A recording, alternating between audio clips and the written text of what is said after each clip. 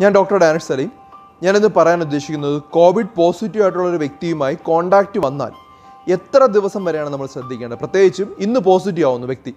എത്ര ദിവസം മുമ്പ് വരെയുള്ള ആളുകളാണ് ശ്രദ്ധിക്കേണ്ടത്? ഇത് ധാരാളം ആളുകൾ ചോദിക്കുന്ന ഒരു ചോദ്യമാണ്. ഈ പോസിറ്റീവ് നെഗറ്റീവ് എന്നുള്ള ഒരു കാര്യം നമുക്ക് തൽക്കാലം അവിടെ നിർത്താം. ആദ്യം നമ്മൾ മനസ്സിലാക്കേണ്ടത് ലക്ഷണം എന്നാണ് വരുന്നത് എന്നുള്ളതാണ്. എന്താണ് ലക്ഷണങ്ങൾ? പനി ചുമ അതുപോലെ തന്നെ മണം കിട്ടാതിരിക്കുക സ്വാദ് കിട്ടാതിരിക്കുക വയറിളക്കം ശ്വാസം മുട്ടൽ ഇതുപോലുള്ള ഏതെങ്കിലും ലക്ഷണം ഉണ്ടാവുന്നു. അതിന് മുന്നോടിയായിട്ട് ഒരു അഞ്ച് ദിവസം വരെയാണ് മറ്റുള്ളവരിലേക്ക് പകർത്തുന്നത്. ഇതാണ് നിങ്ങൾ അറിഞ്ഞിരിക്കുന്നത്. സാധാരണഗതിയിൽ മൂന്ന് ദിവസം വരെയാണ് പകർത്തുന്നത്. പക്ഷേ മാക്സിമം ഫൈവ് ഡേയ്സ് വരെയാണ് പകർത്തുന്നത്. ഞാൻ എക്സാമ്പിൾ പറയാം. ഇപ്പം ഇന്ന് ഞായറാഴ്ച. ഞായറാഴ്ചയാണ് നമുക്ക് ലക്ഷണം ഉണ്ടാവുന്നെങ്കിൽ ശനിയാഴ്ച വെള്ളിയാഴ്ച അതുപോലെ വ്യാഴാഴ്ച ബുധനാഴ്ച പിന്നെ ചൊവ്വാഴ്ച. ചൊവ്വാഴ്ച വരെ ഞാനുമായിട്ട് അടുത്തിടപഴകിയ വ്യക്തികൾ. എന്തൊക്കെയാണ് അടുത്തിടപഴകുന്നത്? നമുക്കൊരു പത്ത് മിനിറ്റിൽ കൂടുതൽ ഒരു സ്ഥലത്ത് നമ്മൾ വളരെ ക്ലോസ് ആയിട്ട് നമ്മൾ ഇടപഴകിയിട്ടുണ്ട്. ഈ സമയത്ത് നമ്മൾ മാസ്ക് ധരിക്കാതിരിക്കുക. പിന്നെ അതുപോലെ തന്നെ നമ്മൾ അടഞ്ഞ ഒരു മുറികളിലാണ്. ഈ സാഹചര്യത്തിലാണ് നമുക്ക് പകരാനുള്ള സാധ്യത കൂടുതൽ. അപ്പം ഇതൊന്നുമില്ല. ഒരു തുറസായ സ്ഥലത്താണ് പത്ത് മിനിറ്റിൽ താഴെയാണ്. അതുപോലെ മാസ്കുകൾ നിങ്ങൾ വ്യക്തമായി ധരിച്ചിട്ടുണ്ടെങ്കിൽ ചാൻസ് വളരെ കുറവാണ്. അപ്പോൾ ഇതാണ് നമ്മൾ അറിഞ്ഞിരിക്കുന്നത്. അപ്പോൾ ഇതുകൊണ്ട് പല ആളുകളുടെയും ടെൻഷൻ അവിടെ ഒഴിവാകുകയാണ്. ഇത് പലപ്പോഴും നമ്മൾ പറഞ്ഞിട്ടുള്ളതാണ്. പക്ഷേ വീണ്ടും വീണ്ടും ഇതേ ചോദ്യം വരുന്നതുകൊണ്ടാണ് പറയുന്നത്. നമ്മൾ മനസ്സിലാക്കേണ്ടത് എന്നാണോ ലക്ഷണം ഉണ്ടാവുന്നത്. അതിന് മുന്നോടിയായിട്ട് മൂന്ന് ദിവസമാണ് സാധാരണഗതിയിൽ മറ്റുള്ളവരിലേക്ക് പകരുന്നത്. പക്ഷെ മാക്സിമം ഫൈവ് ഡേയ്സ് എന്ന് ആലോചിക്കുക. ഫൈവ് ഡേയ്സിന് മുകളിലോട്ട് വരാറില്ല. സെന്റർ ഓഫ് ഡിസീസ് ആൻഡ് കൺട്രോളും പറഞ്ഞിരിക്കുന്നത്.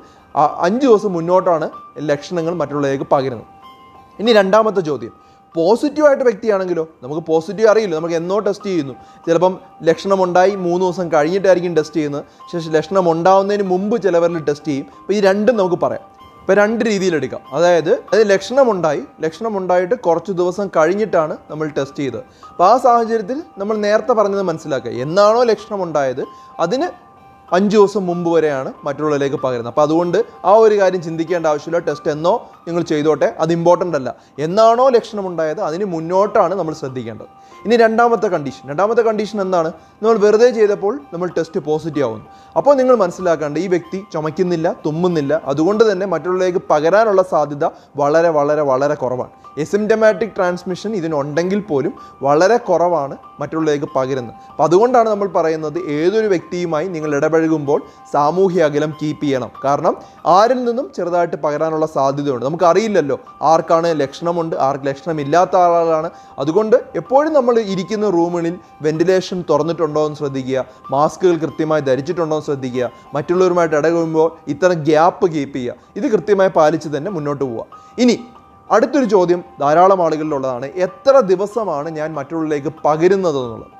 അത് അറിഞ്ഞിരിക്കേണ്ടത് പതിനഞ്ച് ദിവസം മൊത്തം. എത്ര ദിവസം? പതിനഞ്ച് ദിവസം മൊത്തം എന്ന് പറഞ്ഞാൽ ഞാൻ നേരത്തെ പറഞ്ഞു അഞ്ച് ദിവസം മുന്നോട്ട് നമുക്ക് സ്പ്രെഡ് ചെയ്യാം. അതായത് എന്നാണോ ലക്ഷണങ്ങൾ ഉണ്ടാവുന്നത് അതിന് അഞ്ച് ദിവസം മുന്നോട്ട് സ്പ്രെഡ് ചെയ്യാം. അപ്പോൾ അങ്ങോട്ട് എത്ര ദിവസമായിരിക്കും? പത്തോ അല്ലെങ്കിൽ പതിനൊന്നോ ദിവസം. അപ്പോൾ പത്ത് മുതൽ പതിനൊന്ന് ദിവസം മാത്രമാണ് നമ്മൾ മറ്റുള്ളവരിലേക്ക് പകരുന്നത്. അപ്പോൾ ഞാൻ പറഞ്ഞു ത്രീ ടു ഫൈവ് ഡേയ്സ് ആണ് നമ്മൾ സിംറ്റം ഉണ്ടാവുന്നതിന് മുമ്പ് സ്പ്രെഡ് ആവാനുള്ള സമയം. മറ്റേതാണെങ്കിൽ ഒരു നയൻ ടു ലെവൻ ഡേയ്സ് എന്ന് ഓർത്ത് വയ്ക്കുന്നതായിരിക്കും നല്ലത്. അപ്പോൾ സിംറ്റം ഉണ്ടായതിനു ശേഷം ഒരു ഒമ്പത് മുതൽ പതിനൊന്ന് ദിവസം മറ്റുള്ളവരിലേക്ക് പകരാനുള്ള സാധ്യതയുണ്ട്.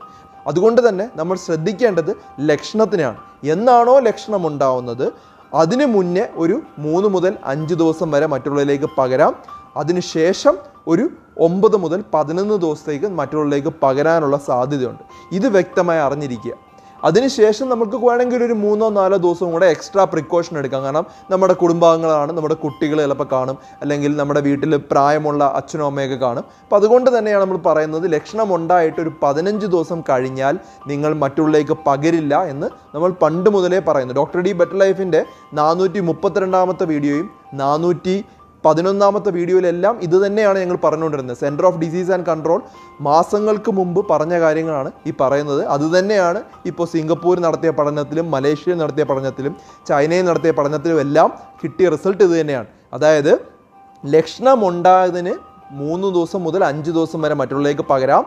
ലക്ഷണം ഉണ്ടായതിനു ശേഷം ഇത്രയും ദിവസം മാക്സിമം പതിനഞ്ച് ദിവസമാണ് മറ്റുള്ളവരിലേക്ക് പകരുന്നത്. ഇത് നിങ്ങൾ അറിഞ്ഞിരിക്കുക. അപ്പോൾ അതിനുശേഷം നിങ്ങൾ ശ്രദ്ധിക്കുക. നമുക്ക് കൊച്ചു കുടു കൊച്ചു കുട്ടികളുണ്ട് അല്ലെങ്കിൽ പ്രായമുള്ള ആളുകളൊക്കെ ഉണ്ടെങ്കിൽ കുറച്ചൊന്ന് ശ്രദ്ധിക്കുക. അത് നമ്മൾ നാനൂറ്റി അറുപതാമത്തെ വീഡിയോയിൽ പറയുന്നുണ്ട്. നിങ്ങൾ എന്തൊക്കെയാണ് ശ്രദ്ധിക്കേണ്ടത്? കോവിഡ് പോസിറ്റീവായി നിങ്ങൾ വീട്ടിൽ താമസിക്കുന്ന സമയത്ത് മറ്റുള്ളവരായിട്ട് ഇടപഴകാമോ?